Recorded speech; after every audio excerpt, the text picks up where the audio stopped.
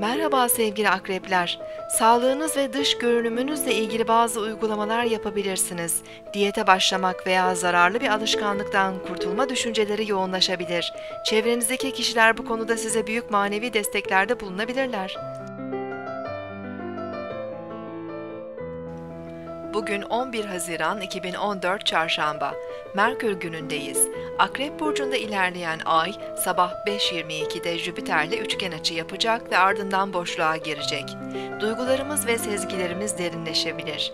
Günlük ilişkilerimizde objektif davranmakta zorlanabiliriz. Duygusal beklentilerimiz artabilir. Annemiz ve ailemizden destek bulmamız daha kolay olabilir. Akşam 18.25'te Ay Yay burcuna geçiş yapacak. Daha rahat ve iyimser enerjiler etkisine girebiliriz. İlişkilerimizde bireysel davranma ve özgürlük ihtiyacı artabilir.